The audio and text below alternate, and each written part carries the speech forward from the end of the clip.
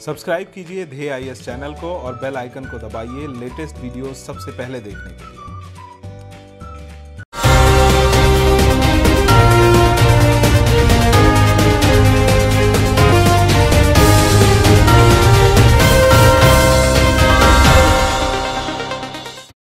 नमस्कार धे टीवी में आपका स्वागत है। मैं हूँ कुर्बान अली और आप देख रहे हैं हमारा साप्ताहिक कार्यक्रम राष्ट्रीय मुद्दे, जिसमें आज हम बात करेंगे जम्मू कश्मीर में मानवाधिकारों की और वहाँ लागू सार्वजनिक सुरक्षा अधिनियम 1978 कानून की। पीएसए एक निवारक निरोध यानी प्रिवेंटिव डिटेंशन कानून है। इसके तहत किसी भी व्यक्ति को ऐसे किसी काम को करने से रोकने के लिए दो सालों तक के लिए हिरासत में लिया जा सकता है, जिससे राज्य की सुरक्षा या सार्वजनिक व्यवस्था प्रभावित हो सकती हो।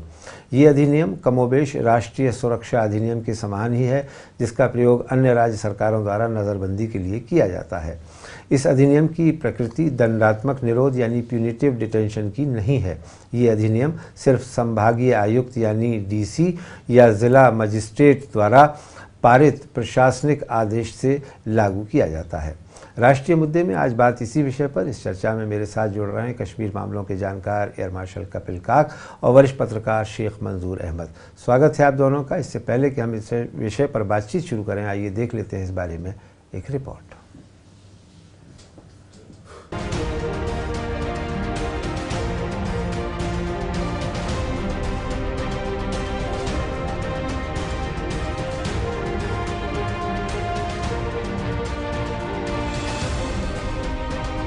हाल ही में जम्मू कश्मीर के पूर्व मुख्यमंत्रियों उमर अब्दुल्ला और महबूबा मुफ्ती के खिलाफ जन सुरक्षा कानून यानी पीएसए के तहत मामला दर्ज किया गया।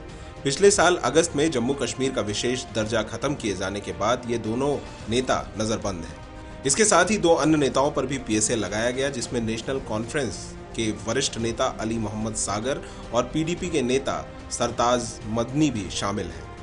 ये सभी नेता पिछले 5 अगस्त के बाद से एहतियातन हिरासत में रखे गए थे। अब इन पर जन सुरक्षा अधिनियम लगा दिया गया है। जम्मू कश्मीर में इस अधिनियम की शुरुआत 1978 में लकड़ी तस्करी को रोकने के दौरान की गई थी। आपको बता दें, इस अधिनियम की शुरुआत फारूक अब्दुल्ला के पिता शेख अब्दुल्ला ने की थी। 1990 के दशक में जब राज्य में उग्रवादी आंदोलनों ने ज़ोर पकड़ा तो दंगाइयों को हिरासत में लेने के लिए राज्य सरकार ने सार्वजनिक सुरक्षा अधिनियम का प्रयोग काफ़ी व्यापक स्तर पर किया। गौरतलब है कि साल 2011 से पहले जम्मू कश्मीर के इस अधिनियम में 16 साल से अधिक उम्र के किसी भी व्यक्ति को हिरासत में लेने का प्रावधान था। लेकिन साल 2011 में अधिनियम को संशोधित कर उम्र सीमा बढ़ा दी गई और अब यह उम्र सीमा बढ़ाकर 18 साल कर दी गई है। हालिया सालों में भी इस अधिनियम का कई दफे प्रयोग किया गया है। साल 2016 में हिजबुल मुजाहिदीन के आतंकी बुरहान वानी की गिरफ्तारी को लेकर हुए विरोध प्रदर्शनों के दौरान पीएसए का प्रयोग कर तकरीबन 550 लोगों को हिरासत में लिया गया था। पीएसए उस व्यक्ति पर भी लगाया जाता है जो पहले से पुलिस हिरासत में है या जिसे अदालत से जमानत मिल चुकी है। यहाँ तक कि इस अधिनियम का प्रयोग उस व्यक्ति पर भी किया जा सकता है जिसे अदालत ने बरी कर दिया है। अधिनियम के प्रावधानों के अनुसार पीएसए का प्रयोग कर राज्य के किसी भी व्यक्ति को बिना किसी आरोप या जाँच के नजरबंद किया जा सकता है या उसे हिरासत में लिया जा सकता है। यह नजरबंदी दो साल तक की हो सकती है। कश्मीर में 370 के कुछ प्रावधानों को हटाए जाने के बाद इंटरनेट सेवाएँ बंद कर दी गई थीं। मोबाइल नेटवर्कों को जाम कर दिया गया था, लोगों को हिरासत में लिया गया। विपक्षी पार्टी के कई नेताओं को हिरासत में रखा गया। प्रेस पर पाबंदियाँ लगाई गई, लोगों को विरोध प्रदर्शनों से रोका गया और इसके अलावा शक की बिना पर कई लोगों को हिरासत में भी लिया गया। केंद्र की तरफ़ से सुरक्षा बलों की कई टुकड़ियाँ भी कश्मीर भेजी गई।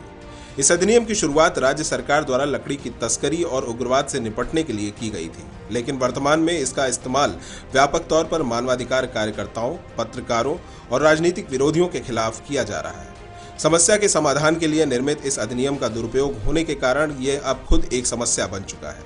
इसलिए यह ज़रूरी है कि इस अधिनियम में जल्द से जल्द संशोधन कर इसे पुनः आतंकवाद और उग्रवाद के विरुद्ध एक समाधान के रूप में प्रयोग करने हेतु स्थापित किया जाए। मैं इस चर्चा की शुरुआत कपिल काक साहब आपसे करना चाहूँगा।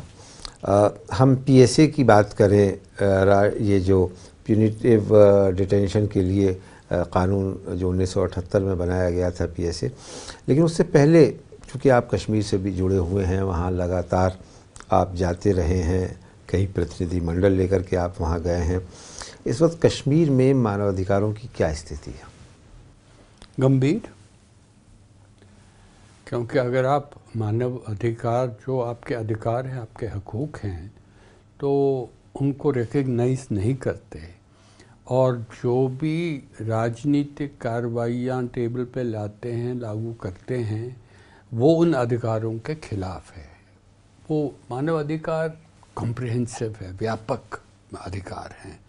पहले तो राजनीतिक अधिकार है। मैं हिंदुस्तान का एक नागरिक हूँ। तो मुझे भी सेवन सेवानिवृत्त हूँ मुझे भी राजनीतिक हकूक़ मिलने चाहिए मुझे कोई ऑप्शन देनी चाहिए। तो विरोधियों को एक इंटरनेशनल मानना भी एक डिनाइल ऑफ़ फ्रीडम्स है। तो मगर मैं आपका जो प्रश्न है इजाज़त हो एक दो मिनट लूँ और इसको एक्सपैंड करूँ academic you know global academic debate अगर आप कश्मीर की वादी में रखें तो हम आगे बढ़ने में थोड़ी मुश्किल आते होंगे। पहले जो सिविलाइज सोसाइटी होती है, सारे विश्व में, उनका कॉन्ट्रैक्ट होता है सोशल कॉन्ट्रैक्ट नागरिक का और सरकार का। नागरिक की जो भूमिका है कि अच्छे नागरिक बनिए, आप किसी हिंसा में शामिल ना हो, देश विरोधियों के साथ ना मिलें, ये इनके लिए बताया जाता है। जहाँ तक सरकार की भूमिका है, वो है कि कोई कोई नागरिक जो है, उसको किसी तरह की नज़रबंदी में लाना नहीं चाहिए, और बिना किसी वजह के। तो अगर आप लाते हैं तो ये एक सोशल कॉन्ट्रैक्ट ब्रेक होता है। दूसरा मुद्दा ये है कि जैसे आपने खुद ही ज़िक्र किया, वो ये है कि ये प्रिवेंटिव डिटेंशन है। ये नेवर एक नज़रबंदी है। और इसको, इसके सज़ा की नज़रबंदी नहीं है। तो इस पर अलग अलग मतलब इम्पल्स आते हैं। एक तो प्रिवेंटिव हैं, आप उस आदमी को प्रोटेक्ट करते हैं, आप समाज को प्रोटेक्ट करते हैं, कहीं कानून व्यवस्था खराब ना हो, राष्ट्र सुरक्षा पे कुछ असर ना हो, और उसके लिए भूमिका सरकार पर भी पड़ती है। क्या आप इसको एक तरह की कठोर तरीके से देखते हैं, क्योंकि इसमें एक तरीके की जिसे कहते हैं बैलेंस होनी चाहिए, संतुलन होना चाहिए, नागरिक के राइट्स जो हैं और सरकार की जो रिस्पॉन्सिबिलिटी बनती है। दूसरा, वो ये है कि अगर आप तारीख देखें तो सारे विश्व की तारीख देखें और हमारी तारीख देखें। प्रिवेंटिव डिटेंशन 1818 में लागू हुआ था बंगाल में। अभी हमारा देश स्वतंत्र हुआ भी नहीं था। उसके बाद गवर्नमेंट ऑफ़ इंडिया एक्ट 1935 में सारे हिंदुस्तान में लगा था। क्यों लगा था? कारण तो मैंने अभी बताए हैं। तीसरा जो हुआ है कि जो कश्मीर की बात करते हैं, उन्नीस सौ उनतालीस का जो कॉन्स्टिट्यूशन महाराजा हरी सिंह के टाइम पे था, उस पे प्रिवेंटिव डिटेंशन के प्रोविजंस थे। और उस पर काफ़ी लोगों के जो भी उनके खिलाफ कार्रवाई कर रहे थे उनको अंदर कर किया था। उसके बाद सैंतालीस में जब 370 आर्टिकल हमारे संविधान में लागू किया गया था उस वक्त ये निर्णय लिया था वो कानून है कि प्रिवेंटिव डिटेंशन के लॉज जो है हिंदुस्तान के कश्मीर पे नहीं होंगे। कश्मीर अपना का, कानून बनाएगा। तो जैसे आपने खुद ही कहा है कि पहली बार तो उन्नीस पे प्रिवेंटिव डिटेंशन एक्ट लागू हुआ कश्मीर में। चौदह साल के बाद जब आपने खुद ही कहा टिम्बर स्मगलर्स को काबू पाने के लिए उनको अंदर रखने के लिए, क्योंकि शेख साहब जब वापस आए अपनी अरेस्ट के बाद और मुख्यमंत्री बने तो उनके सामने सबसे बड़ी चुनौती राजनीतिक नहीं थी टिब्बर स्मगलिंग की थी। वो किसी की मानते नहीं थे और मतलब पूरा फैला हुआ था आप जानते मैं आता हूँ आपके पास में। शेख साहब आप कश्मीर की सूरत हाल को इस वक्त कैसे देखते हैं? क्योंकि आपका भी ताल्लुक़ कश्मीर से है, आपके घर परिवार के लोग वहाँ रहते हैं। सिचुएशन अभी भी ख़राब है, ऐसी बात नहीं है कि कुछ तब्दीली नहीं आई है। अभी भी रेस्ट्रिक्शंस है कम्युनिकेशन की जो फैसिलिटीज़ है, अभी टू जी ही उन्होंने रेस्टोर किया और कभी कभी वो भी बंद करते हैं एज एंड वेन दे रुका रेट दूसरी बात अगर आप देखेंगे, पिछले छः महीनों के अंदर अगर आप देखेंगे, हुकूमत ने कहा कि 370 रिव्यू करने के बाद जम्मू कश्मीर में दूध की नदियाँ बहेंगी। वहाँ पर एक तो ज़बरदस्त बर्फ़बारी हुई, जिससे ऑर्चर्ड्स तबाह हुए हैं। लोगों को जो शटडाउन की वजह से लोगों को इकोनॉमिक लॉसेस बहुत हुए to the tune of twenty thousand crore एक भी पैसा अभी तक हुकूमत ने नहीं दिया है। अब ये आपने कहा ये प्रिवेंटिव ये जो है पब्लिक सेफ्टी एक्ट जैसे एयर मार्शल साहब ने कहा ये उसको बनाया था टिब्बर स्मगलर्स के लिए। लेकिन इसके बाद एटलीस्ट कुछ रिपोर्ट्स कहते हैं eight to ten thousand people were arrested under this act आठ से दस हज़ार। ये एमनिस्टी इंटरनेशनल का रिपोर्ट है कि खास कर इसका इस्तेमाल टिम्बर स्मगलर से के बाद इसका इस्तेमाल पॉलिटिकल लीडर्स पर। अब देखिए इसमें भी दो चीज़ें हैं। एक हुकूमत इसको इस्तेमाल कर रहे थे इन लोगों के लिए, जो वो समझते थे ये सपरेटिस्ट थे, या मिलिटेंट मिलिटेंसी में इन्वॉल्व है। अब पहली बार ये हुआ, जो मेन स्ट्रीम पॉलिटिशन्स हैं, उनके खिलाफ ये इस्तेमाल किया गया। उन्होंने कोई, ऐसा कोई काम नहीं किया है। हालाँकि ये रूलिंग पार्टी है, चाहे वो नेशनल कॉन्फ्रेंस के साथ भी पार्टनर रहे हैं पीडीपी के साथ भी पार्टनर रहे हैं। दो दिन इससे पहले फ़ारूक अब्दुल्ला और उमर अब्दुल्ला प्राइम मिनिस्टर से मिले। वज़ीर दाखिला का बयान on the floor of the Lok Sabha ये है, Farooq Abdullah is free to go any in the country किसी ने उसको रोका नहीं। He is not under detention तीन महीने ऐसे रखा, तीन महीने के बाद उनको आया let us put him under P S A और अब छः महीने के बाद यही हालत, यही लॉ उन्होंने अप्लाई किया है महबूबा मुफ्ती और फ़ारूक अब्दुल्ला के लिए भी। सिचुएशन जब तक इनको सिचुएशन को ऐसे ही छोड़ दिया, अभी तक उसको किसी भी जगह, अभी कोई किसी ने मुझे भेजा है लॉन्गेस्ट जो है इंटरनेट शट डाउन जो वर्ल्ड में रहा, वो कश्मीर में रहा। इससे मसाइल तो हल नहीं होंगे। जो इनके मेन स्ट्रीम पार्टी पॉलिटिशन्स या पार्टीज़ थी, वो गवर्नमेंट ऑफ़ यानी कि इंडियन नेशनलिज्म को प्रमोट कर रहे थे वहाँ पर। एयर मार्शल साहब शायद मुझे इस पर यानी कि एंडोर्स करेंगे। जब कांग्रेस बन गई 64 में तो कांग्रेसी लीडरों के खिलाफ लोगों ने, वहाँ पर पॉलिटिकल पार्टीज़ ने बाइकाट की, मुहिम शुरू की। उन्होंने ओवरकम किया। उन्होंने बड़े फेस किया उस वक्त।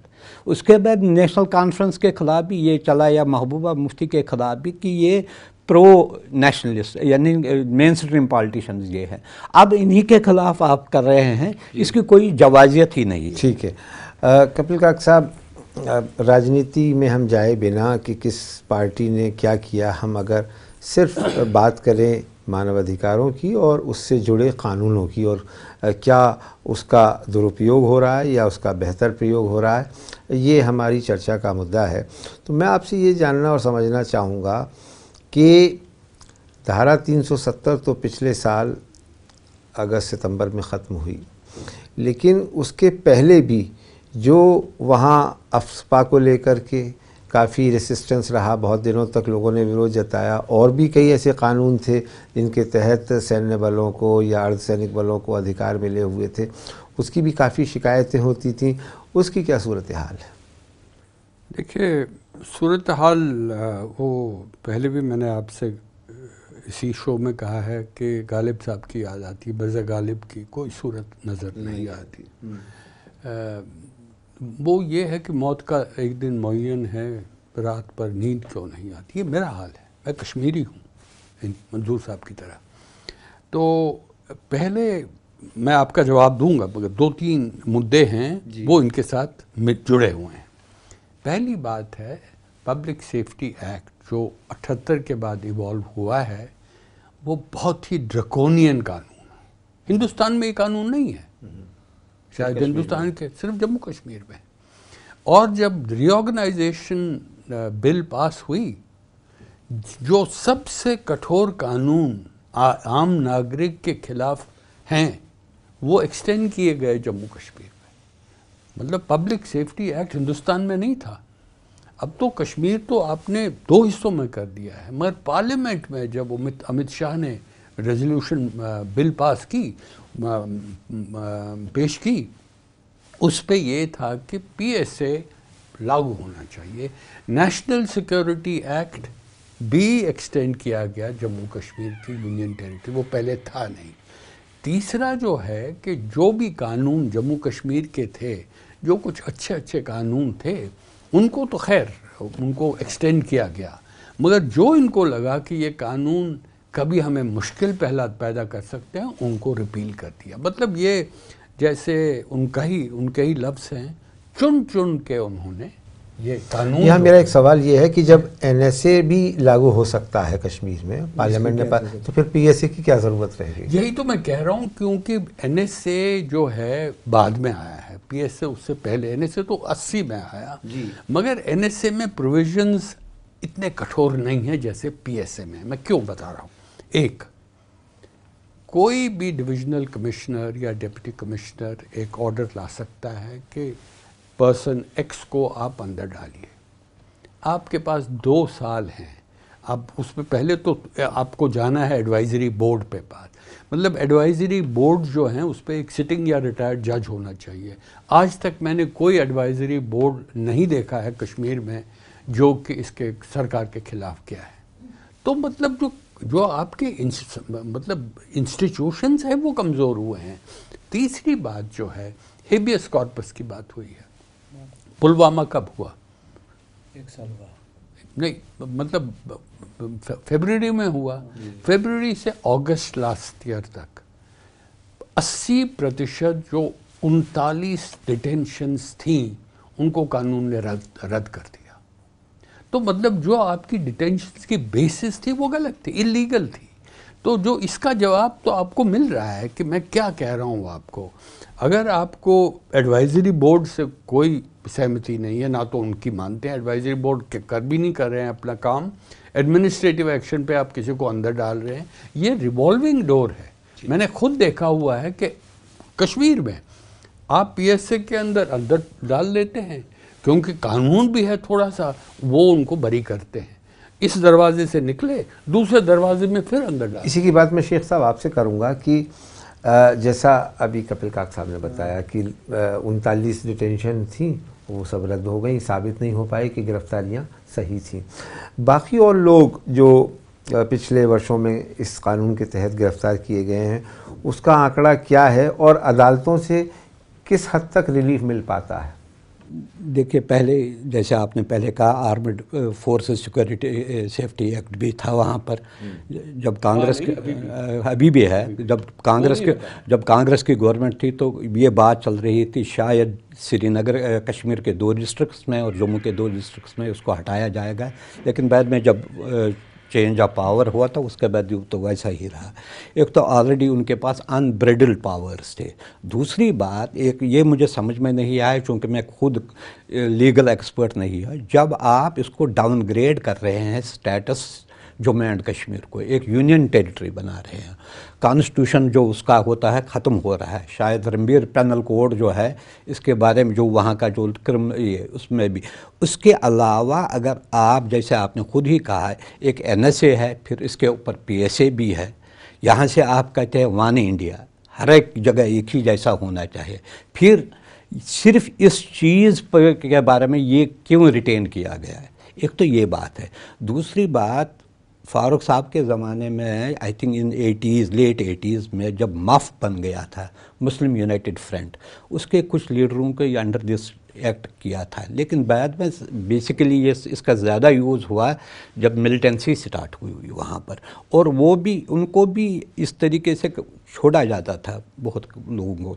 फिगर्स ये है कि दो 1990 से टिल 2000 कुछ कहते आठ हज़ार से दस हज़ार। खास कर कुछ कहते फिगर वेरी करता है, किसी को कुछ पता नहीं। लेकिन सबसे बड़ी बात है कि क्या आप अभी भी वहाँ के लोगों के साथ वो सुतेलाना सलूक कर रहे हैं? अगर एक ही लॉ होना चाहिए it should be uniform law for people of all यानी कि स्टेट्स या यूनियन टेरिटरीज वहाँ पर दूसरी जगह ये नहीं किया इसका ये। वहाँ पर रखा है हमारे यहाँ। किस लिए रखा है? और किस किसके लिए? अगर आप कहते हैं जो वहाँ पर है, इन्होंने ये खुद ही ये स्टेटमेंट दे रहे हैं मिलिटेंसी ख़त्म हो गई पीपल नॉर्मल सी आई है। ये अगर इन चीज़ों को एक तरफ़ कहते हैं, दूसरी तरफ़ सारे जो ड्रकोनियन लाज हैं, उन पर वहाँ पर इसका इम्प्लीमेंट कर रहे हैं। ये समझ में इनकी बात नहीं आई है। कपिल काकसा, हमने ज़िक्र किया कि जो कश्मीर में लागू कानून है और जिसके तहत गिरफ्तारियाँ हो रही हैं और उसके तहत लोग छूट भी जाते हैं। फिर ये जो एक्सरसाइज हो रही है, इसका मकसद क्या है? देखिए पहले हमें एक चीज़ देखनी है, वो ये है कि एक और पहलू से इस मुद्दे को देख लें। मंजूर साहब ने तो बहुत ही उचित तरीके से इसकी बात की है। वो है कि अठहत्तर का कानून जो टिम्बर स्मगलर्स के ख़िलाफ़ था, वो बहुत काम आया सरकार को, केंद्र सरकार और राज्य सरकार को नब्बे से 2002 तक 12 साल। क्योंकि शायद सारे लोगों को मालूम नहीं है, मैं उस वक्त सेवानिवृत्त नहीं था सर्विंग ऑफिसर था, कितनी बार मैं हेलीकॉप्टर्स में श्रीनगर गया। कानून की स्थिति ऐसी थी कि मतलब कश्मीर मतलब हिंदुस्तान का एक हिस्सा था ही नहीं। तो आपको ऐसे कठोर कानून लाने की आवश्यकता थी। और इसीलिए आफ्सपा भी उस वक्त काम में आया। ये जो पी एस ए था ये भी काम में आया। मगर दिलचस्प बात जो मैं आपके साथ शेयर करता हूँ वो एक दौर था। वो दौर ख़त्म हो गया है। मैं याद दिलाना चाहता हूँ आप क्या चाहते हैं कि क्या वहाँ आतंकवाद ख़त्म हो गया? अब ज़रूरत नहीं है। आतंकवाद? अब मैं बता दूँगा आंकड़े से आपको शायद मालूम होगा। 2003 में 4,500 कैजुअलिटीज़ हर साल रही थी। आप होम मिनिस्ट्री के वेबसाइट पे जाइए। आज 500 से भी कम। अब देखिए ना तो क्या है? मतलब अगर अगर एक अगर एक शांति का माहौल आ गया है जो जिम्मेवाराना सरकार और राजनीतिक पार्टीज़ हैं, वो मॉनिटर करती हैं कि हालत बदल गए हैं। कश्मीरी हमारे साथ हैं। हाँ कश्मीरियों की कुछ डिमांड्स हैं। राजनीतिक तरीके से हम डिमांड्स को मीट कर सकते हैं। आपको याद दिलाना चाहता हूँ 2003 का आंकड़ा मैंने दिया। 2007 तक तो ये दो, चार हज़ार पाँच सौ से डेढ़ हज़ार पहुँच गया था। क्यों? क्योंकि 2003 से 2007 तक वाजपेयी साहब का जो पाकिस्तान के साथ बातचीत रही, हमारे अलगावादी लोगों से बात की, गिलानी साहब से बात हुई उनके साथ इनडायरेक्टली हुई, मगर यासीन मलिक से हुई, मीरवाइज उमर फारूक से हुई, शिया लीडर्स अंसारी साहब के साथ थी। तो मैं देखता, ये वो माहौल नहीं है। अब आपको क्या है? आपके पास तो कोई विकल्प है ही नहीं। विकल्प ये है कि या तो आप कश्मीर को जाने दीजिए एनाकी होनी चाहिए, या तो ऐसे कठोर कानून लाने हैं। ये पहली बात है। दूसरी बात कुर्बान साहब है, हमने एक कानून जो है, उसकी हमने ज़िक्र की ही नहीं। वो है unlawful activities prevention act UAPA जिसे। ये एंटी टेरर लॉ था।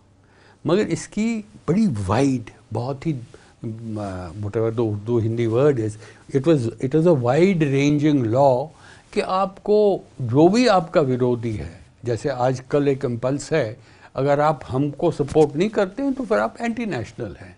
हमें शाहीन बाग ने हमें क्या दिखाया? हिंदुस्तान को एक रास्ता दिखाया है शाहीन बाग। पहली बार मैं 20 साल से कश्मीर को देख रहा हूँ सुरक्षा का व्यापक सुरक्षा को देखता हूँ। ये छोटे छोटे बच्चे औरतें, खासकर मुसलमान, गए और उन अपने सारे देश को, उनको सपोर्ट किनको, किन्होंने किया? मेजॉरिटी कम्युनिटी उनके साथ थी। तो मतलब दिखा रहे हैं कि रास्ता ये नहीं है। मैं सी की बात कर रहा हूँ एनपीआर की कर रहा हूँ एनआरसी की बात कर रहा हूँ। मतलब अगर वो मुद्दा है, यहाँ पे कश्मीर का मुद्दा भी आएगा। मुश्किल ये है कि क्योंकि आपको यूएपीए में या पीएसए में कोई राइट टू रिप्रेजेंटेशन नहीं है। जो हकूक फंडामेंटल हक है कि अगर आपने मुझे अंदर कर दिया तो मुझे पहले बता दीजिए कि आपने मुझे क्यों अंदर कर दिया? कुछ इतने इतने लोग हैं जिनको ये कहा भी नहीं गया है। जस्टिस मागरे हैं justice high court Jammu Kashmir के।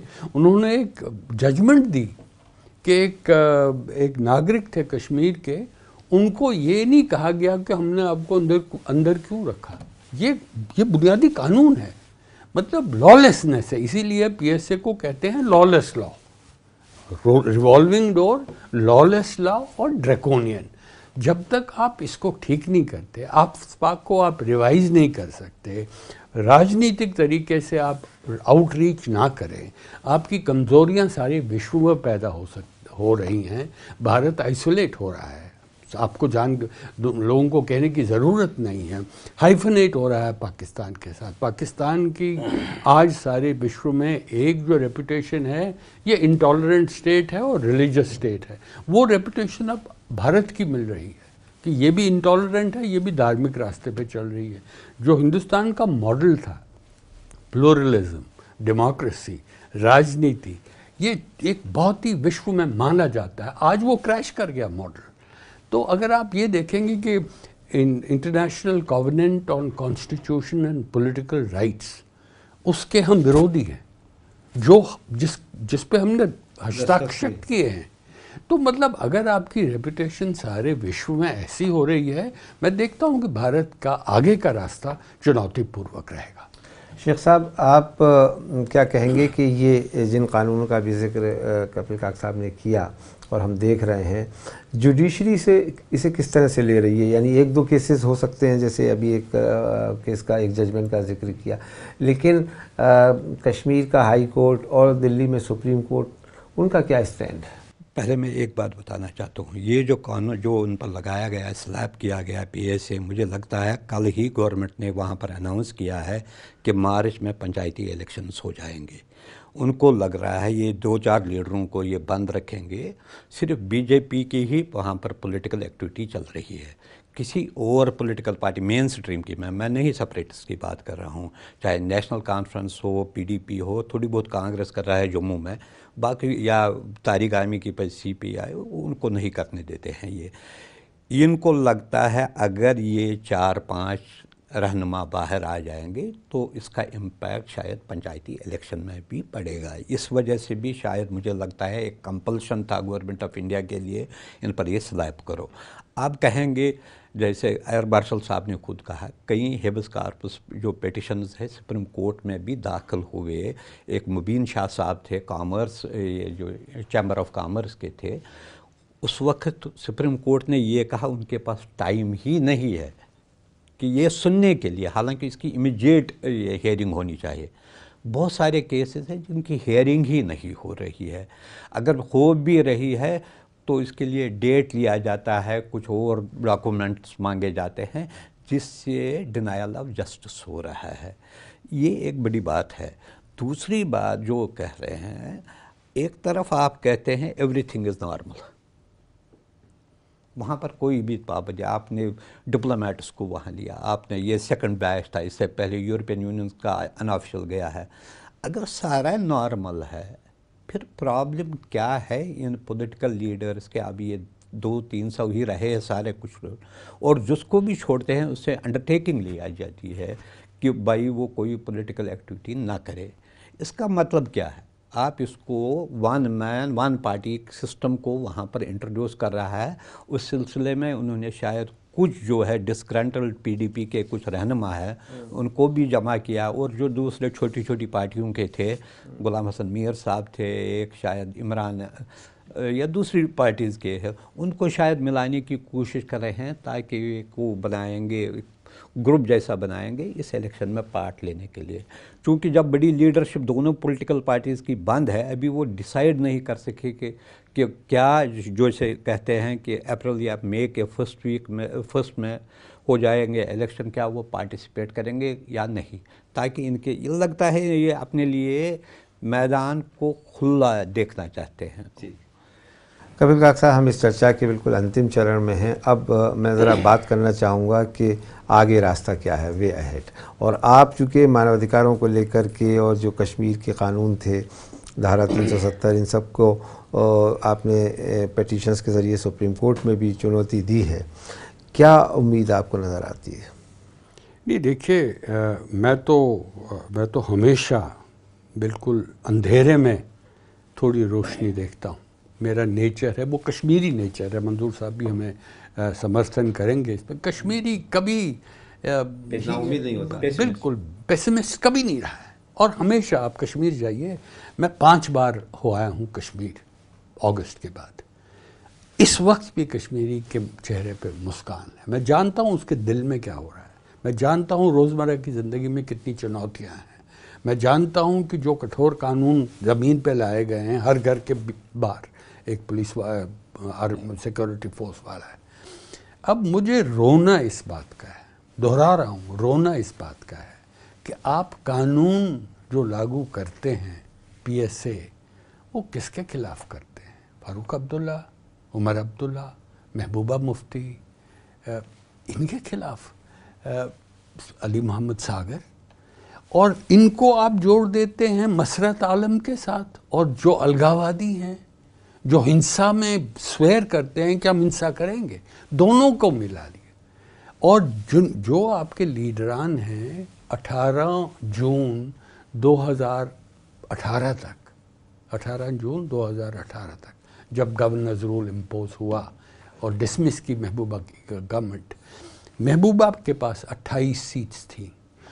कांग्रेस के पास 12 सीट्स थी। नेशनल कॉन्फ्रेंस के साथ 15 सीट्स थी इंडिपेंडेंट सात थे, जो सब आर्टिकल 370 पे they be use swear by article 370 अब इनको आप जोड़ेंगे तो इनको मेजॉरिटी है। मेजॉरिटी इन द असेंबली जब चुनाव सेंट्रल इलेक्शन कमीशन ने किए हैं। और इसके इसके कॉन्ट्रास्ट में आप क्या देखते हैं? परसों ही कुछ दिन पहले ही लोकसभा में इस पर बहस हुई थी। और हमारे देश के सबसे बड़े अहम नेता उन्होंने कहा कि वहाँ पर ये ढाई सौ लोग हैं, बड़ा तंग करते हैं। बाकी सारी सारा कश्मीर मेरे साथ है। मुझे सपोर्ट करती है। मानते हम उन पर हम उनको ना नहीं करना चाहते हैं। मगर हम देखना चाहते हैं ज़मीन पे ये कैसा चाहे। आप इन लीडर्स को रिलीज़ कीजिए।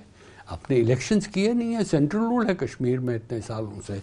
जैसे इन्होंने कहा है कि अब आप पॉलिटिकल री इंजीनियरिंग कर रहे हैं। बिकाऊ जो लीडर्स हैं उनको कहते हैं या आप तिहाड़ में रहेंगे? कोट बलवाल जम्मू में रहेंगे या श्रीनगर में रहेंगे? अगर ये मालूम नहीं तो हम आपको मिनिस्टर बना देंगे। कुरबान साहब आप बताइए आप क्या करेंगे? जो जो ह्यूमन बीइंग है टेम्पटेशन में आ जाता है। तो आप जो भारत के कश्मीर की जो चुनौतियाँ हैं उनको आपने मैनिफोल्ड इंक्रीज करा है। सौ गुना इंक्रीज किया है। कि वापस 18 जून को जाने के लिए आपको अब बहुत ही बहुत ही काम करने पड़ेंगे।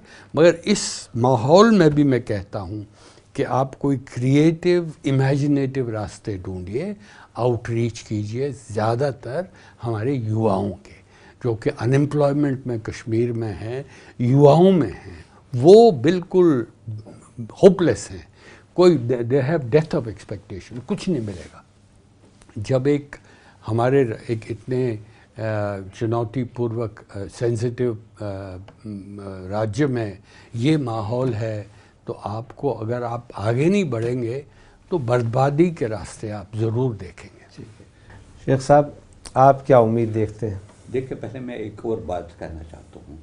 जब इन्होंने ये रिवोक किया 370 इन्होंने ये इम्प्रेशन दिया लोगों को रेस्ट ऑफ़ द कंट्री को, शायद पहली बार जम्मू कश्मीर हिंदुस्तान का हिस्सा बन गया। ये ऐसे जैसे वो अलग था, पाकिस्तान वहाँ पर रूल कर रहा था, ये इन्होंने एक इम्प्रेशन दिया। 370 एक सेंटिमेंटल इमोशनल अटैचमेंट थी। इसमें 49 टाइम्स शायद अमेंडमेंट्स हुए थे थ्रू प्रेसिडेंशियल ऑर्डर एक्सेप्ट जो था वहाँ पर ये प्रॉपर्टी राइट्स के बारे में था, जो 35 ए या इसमें भी। अब उसी की बात, चूँकि पहले हटाया गया, अब ये गवर्नमेंट चूँकि जम्मू में भी अब लोगों को समझ में आया है कि शायद ये उनके लिए भी बहुत ख़तरनाक साबित होगा। तो उन्होंने अब ये सोच रहे हैं, एक आर्डर निकालेंगे कि पंद्रह साल तक वहाँ पर कोई भी ज़मीन खरीद नहीं सकता है प्राइवेट प्रॉपर्टी हालाँकि अगर इंस्टीट्यूशंस होंगे या कोई बड़ी कंपनी छोड़ेगी इसके लिए ये आर्डर नहीं है। अब प्रॉब्लम ये है कि एक तो इन्होंने किया पहले। सबसे बड़ा इसकी जो, सबसे बड़ी तबाही की, इसको डाउनग्रेड किया, इसको दो यूनियन टेरिटरीज़ में भी कोई भी कहीं खुश नहीं है। करगिल वाले कहते हैं, हम नहीं जाएँगे लद्दाख वालों के साथ। लद्दाख वाले कहते हैं, हमें ट्राइबल स्टेटस दीजिए। जम्मू वाले कहते हैं, हमें प्रोटेक्शन अभी अगर आपको पता होगा, हाई कोर्ट ने वहाँ पर कुछ वैकेंसीज निकाले थे। वैकेंसीज में ये ऑल इंडिया लेवल पर निकाले थे। Within two days they have to withdraw this notification क्योंकि जम्मू में रिजेंटमेंट हुए, हमारे यहाँ इतनी अनएम्प्लॉयमेंट है, आप बाहर से मंगा रहे हैं। इनका ये जो जब तक सारे लोगों से, इनकी सबसे बड़ी प्रॉब्लम जो है, ये दूसरे को खातर में ही नहीं डालते। अगर ये सारे पॉलिटिकल पार्टी चाहे बड़े डिसीज़न सी का लिया आर्टिकल 370 का लिया, किसी भी पॉलिटिकल पार्टी से मशवरा नहीं करते हैं। या जो लोग एमिनेंटली जैसे काकसा वहाँ पर कई सालों से काम कर रहे हैं, मशवरा के लिए ही करें, कुछ इनपुट्स लें। ये समझते हैं कि सारा कुछ जो ये करते हैं, वही सारा कुछ ठीक है। अब फिर जब उसको रिस्टोर करने की बात है आज छः महीने हुआ, कोई भी इसको नहीं कहता है कि भाई छः महीने तक भी आप इसको वहाँ पर नॉर्मल सी नहीं ला सके, इतना होते हुए भी। हर दिन ये कहते हैं, नहीं, अब ये है, अब इसको बंद कर रखना है, इसको बंद रखना है, अभी भी नॉर्मल सी नहीं है। खुद ही ये अपने कंट्रडिक्शंस में फंसे हैं। जब तक कि इनको ब्रॉड कंसेंसस नहीं करेंगे और लोगों के जो मसाइल है इनको ध्यान नहीं देंगे उनके जो सेंटिमेंट्स है इसको एड्रेस नहीं करेंगे ये अनरेस्ट रहेगा। अभी तो ये नीचे ही दबा है। कहीं ना कहीं इसमें निकलेगा। बहुत बहुत शुक्रिया कपिल काक साहब शेख मंजूर अहमद साहब इस चर्चा में भाग लेने के लिए। तो कश्मीर में चाहे जैसे कानून बने लेकिन अगर उससे आम आदमी को राहत नहीं मिलेगी और शांति बहाल नहीं होगी तो फिर कोई भी कानून अपना काम नहीं कर पाएगा। मेरे साथ इस चर्चा में इतना ही। इजाज़त दीजिए। नमस्कार।